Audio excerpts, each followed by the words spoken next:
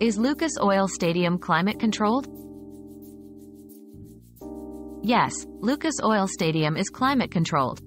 This means that the temperature and humidity levels inside the stadium can be regulated and adjusted using air conditioning and heating systems. This ensures that spectators and athletes are comfortable regardless of the weather conditions outside. The stadium also has a retractable roof that can be opened or closed depending on the weather.